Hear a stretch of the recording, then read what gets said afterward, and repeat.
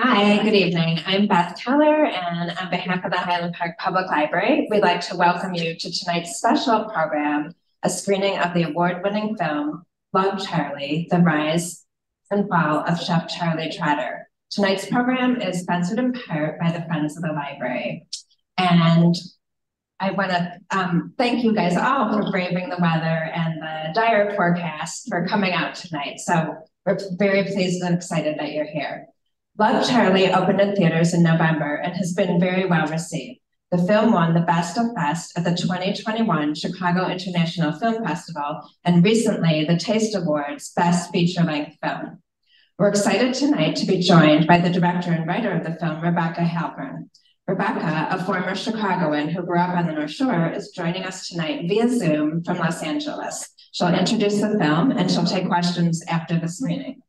Rebecca is a documentary filmmaker whose work includes multiple seasons directing, writing, and producing the hit series American Greed and Gangland, and the critically acclaimed six-part limited series Helter Skelter, which she co-executive produced for Epix. Rebecca also produced and wrote the feature documentary Who is Stan Smith, premiering at DOC NYC 2022.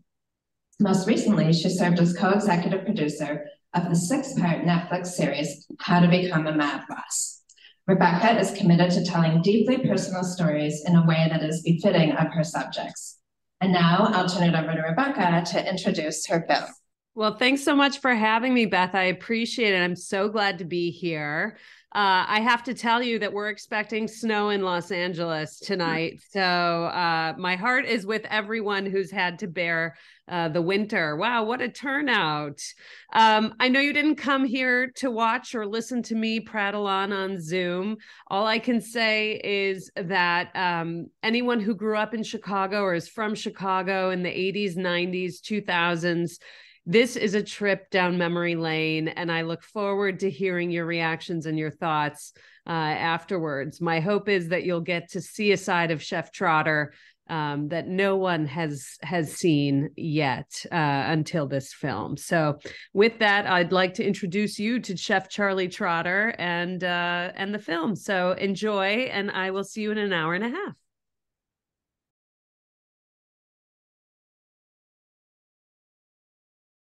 Thank you so much for that great film. It was oh, my pleasure. The story and what a legacy. Um, we'll take questions from the audience, but perhaps first you can just tell us how you became involved in the film and what was the genesis for the film.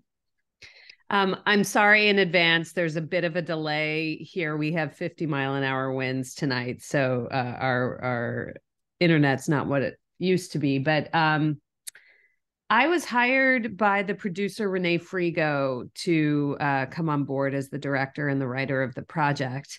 Renee had created an olive oil company called Lucini Olive Oil, which some of you might recognize from the grocery store. And uh, Charlie Trotter discovered the olive oil. He brought it with him on Oprah. And you can only imagine what that did for her business from there. And so um, she wanted to pay homage to him after he passed away. And this was the way she did it. She partnered up with Ray Harris, who you saw in the film. He was the best customer who ate there 424 times.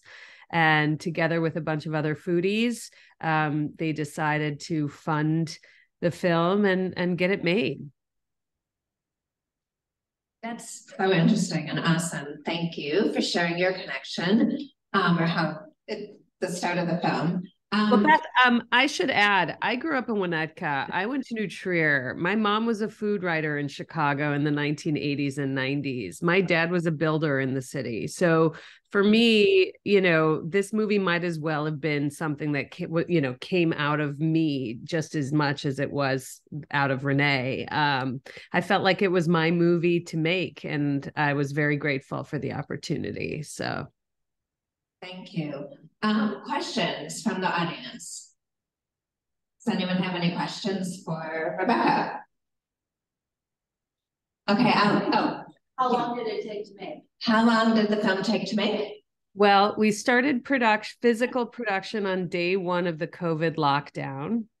And we were in development for about four months, three months before that. So uh, we wrapped in April of 2021 and premiered in October of 2021. So it was about a year and about a year and a half, give or take, um, all in. But uh, producing a film, making a film like this during COVID really took a lot of um, improvisation, which was something that I think Charlie, it was a wrench that Charlie threw in our way to try to get us to stay on our toes. Um, but you know like donna lee and anne's interviews his sister and his mother i conducted those in just the same way that i'm talking to you now. I was on an ipad next to a camera that was physically in their living room. So it was like you know getting someone like donna lee to open up about her worst experience one of the worst experiences of her life her son's death you can imagine how daunting that was uh, to do via Zoom, but but it seemed to work out just fine. And you know, I think a lot of productions these days are have learned a lot of unique ways to save money, just like that. what I just described. Um, so yeah. Thank you. Um, other questions? Is this film available for uh, people in other cities? Is the film available for people in other cities? It's available for rent and for purchase on Amazon and Apple in the United States and in Canada. Um, we're working on getting international distribution now. Um, the woman in the purple in the back.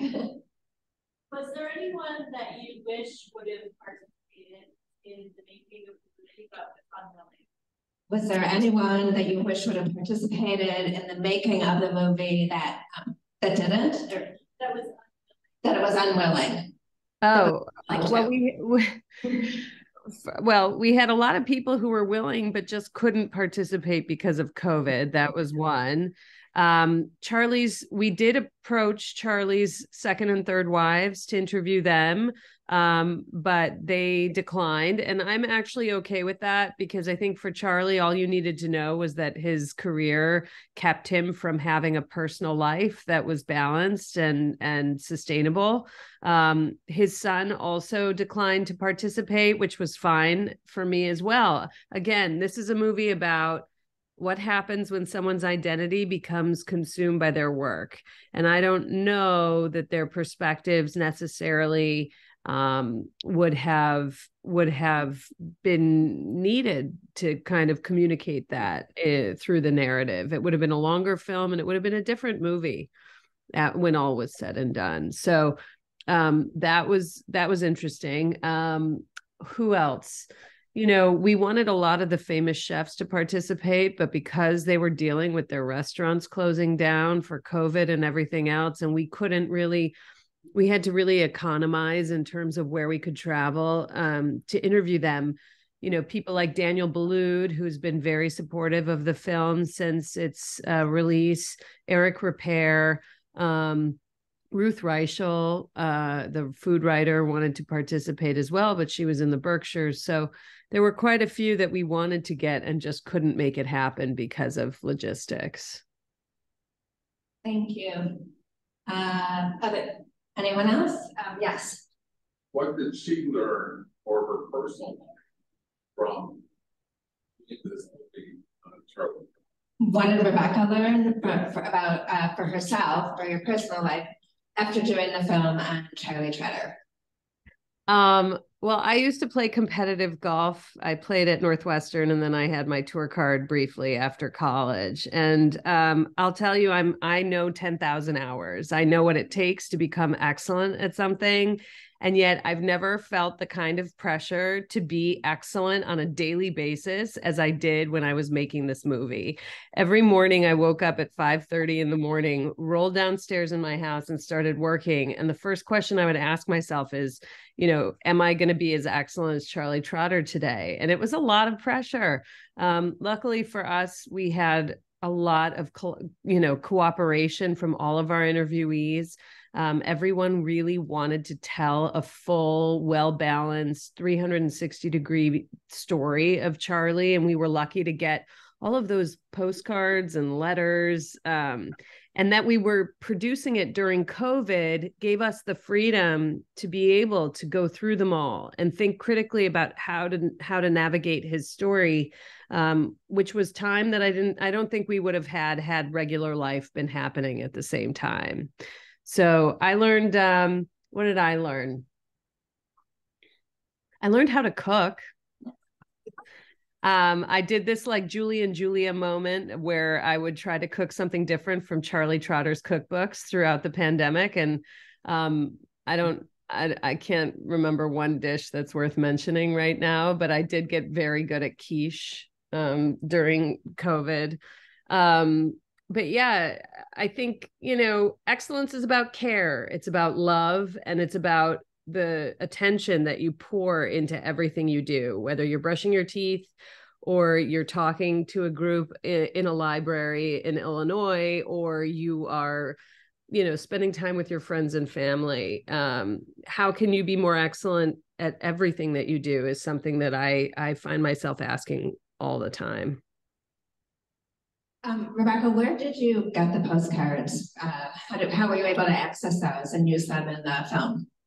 So Lisa, Charlie's first wife, kept all those postcards all those years. And it wasn't just Lisa, it was Norman and Carrie and Anne um, he wrote he wrote he was a prolific writer and he wrote to everyone in his life and everyone saved them. It was like they knew he was going to be somebody and these things were worth saving. I mean lisa likes to joke that she moved 14 times and schlepped all those postcards with her everywhere that she went um, because she knew one day his story would be one that was worth telling. And when you read those postcards it's really remarkable. I mean he had this sixth sense that he was going to be the star of his own movie. He said it himself. Do you ever feel like you're starring in your own movie? And mm-hmm. um, we were lucky to be able to, you know, bring that to life. Yeah, it was great to see the snippets of that. Um, yes, sir. Do you know what uh, avenue Dylan Trotter went in his life?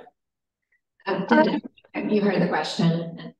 I did hear the question. So I think Dylan, um, Dylan had moved into the other. There were two buildings at the restaurant. Dylan was living in one of those buildings. I think they've the family has been trying to sell them, um, and they haven't been able to um, from you know whatever reason. Um, Dylan is an exceptional photographer and a great artist and videographer himself, and I think he is attempting to um, get into you know the visual arts somehow.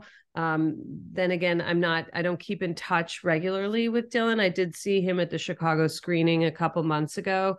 Um, but um, that's that's all i really know. He's tra- he's been traveling and kind of keeping ties with charlie's staff and uh, employees and um, working with them um, I loved how you closed the film with a song by Bob Dylan. So that was that was cool. There's an interesting story about that song if you guys want to hear it. So um, we decided to use a Bob Dylan's song for the closing credits, and I reached out to my attorney. Uh, who happened to represent Bob Dylan, and I said to him, I said, you know, we're going to want this song for for the for the film, and he said to me, well, you need to get your request in today. I said, Get my request in today. What are you talking about? Is everything okay? And here I am thinking he's going to die or something bad was going to happen. And um, so I quick hurry up, get the request in. And then the next day, believe it or not, we get the news that Bob Dylan had sold his catalog to Universal for $500 million. And the price that we would have had to have paid for that song, for the closing credits of our movie, I don't know, it would have been 10 times as expensive, if not more, than what we were able to get it for. So we got in right under the wire for the friends and family rate. Um, and uh, we were lucky. That song says a lot about how I think people feel about Charlie. You know, don't think twice. It's all right. Don't worry about, you know, I, I think there's a lot of regret around Charlie Trotter. And how people perceived him, how they didn't know him, and how they judged him. And we're so willing to kind of cast him as this enigmatic figure without giving him any benefit of the doubt. And my whole purpose in this film is not to apologize for his bad behavior but it's to it's to remind everyone that you know none of us knows the journey someone else is on and uh, until we walk a mile in their shoes and we should we should all show each other a little bit more empathy Um, that might be a great note to end on, and the library is closing in a few minutes, but is there one last question while we have Rebecca here that we can ask? Yes. Not- a question, but a comment. We were privileged to have dined at the kitchen table. You captured that experience so well in your film. It Reminds me of the Lexus moniker, the relentless pursuit of perfection. And screaming at the staff to replate this, it looks like blank. I think Charlie did that because he wanted to perform for the guests. Charlie, Chef Charlie Trotter was a role that he was playing. And eventually that role consumed him and he didn't, he lost sight of his true self. Um, but that kitchen table, man, what a stage. And if for those of you back who didn't hear that, this, these two people right here had the privilege of dining at the table in the kitchen at Charlie Trotter's and um, they felt that Rebecca captured that perfectly. Yes, Yeah, I also knew Charlie Trotter. Dining at the kitchen table. So um, I knew when his son was born, and we had a lot of common things. Uh, He was that way, you were right, but uh, he got his perfection. And it was always a pleasure to go there. He was very giving. And uh, he was quite a character, He was very generous. yes. okay, I think the library is gonna close in like two minutes, but um, this was awesome. Thank you, everyone. Thank you guys for coming. Thank you. Thank you so much for coming on. And joining us at the end and um, for really reminding us about Charlie Trotter and how lucky we were to have the restaurant in Chicago. Thank you. Thank you, everyone. Bye bye.